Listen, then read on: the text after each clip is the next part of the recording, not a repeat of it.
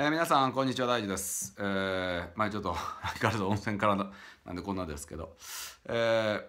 なんかねセッションしていく中で、えーできるかできないか関係なくクライアントと一緒に、えー空想でもね仮想と言ってもいいけど体験をしてみるということで何かそこで気づきが生まれるとか変化が生まれるっていうパターンがあります。えー先日、えーやったセッションですけれどもあのこんな感じだったのね。お父さんが、えっと自分の息子との関わり方というのにちょっと後悔をしているというか、まあ、もっと子どもの頃から、えー本当は愛情を持って接したかったけどなんかすごくこう厳しかったりダメ出したり場合なんかあともしくは愛情が自分が薄いんじゃないかなと思うような関わりをしちゃってたということで後悔しててまあもうだいぶ息子さん大きくなってねそれこそ大学生社会人になるみたいな状態だけど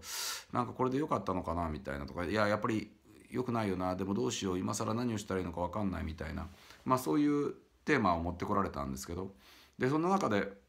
やっぱりすごく後悔してるって辛いってねこっちが一生懸命聞いてたら後悔してる辛いってなってその中でポロッと出たのが「あの本当どうしたいの?」って言ったらあの未来に行くかなと思ったらね「本当どうしたい?」って言ったら「いやもうタイムマシンがあるんだったら戻ってやり直したいとあの時あのもっと本当に愛情を注いでってしたいんだとどうします？皆さんできないからそれ言ってもしょうがないよねっていうあのもしそういうことができるんだったら、えーイメージの中でねあの全部やりきっててみるのもいいんだよ。あの要はその昔に戻ってまだちっちゃかった自分の、えー子供をとにかく抱きしめて愛してでいっぱい遊んで。でそうすると少なくとも本心からそうしたかったんだってことが分かったりね。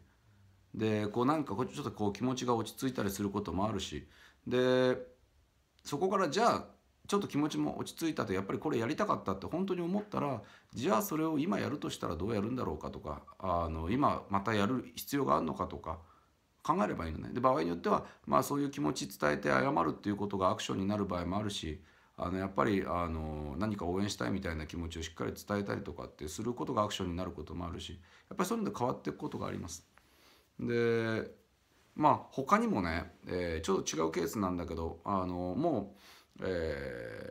50歳ぐらいの女性があの人生で後悔しててやっぱり、えっと、子供を産んで育てたかったって、まあ、いうケースがあったんですけどそれもね、まあ、いろんな関わり方があるんだけどたまたまそのケースを扱った時は。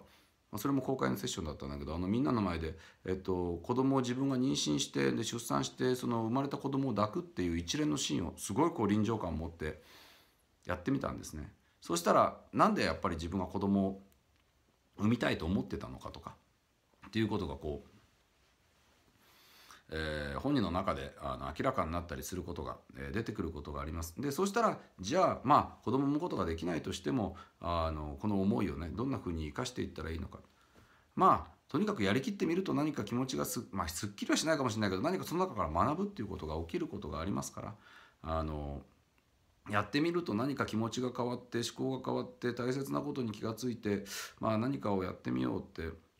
なるかなと思ったらあのチャレンジしてみてもいいかもしれないです。えーぜひ参考まで。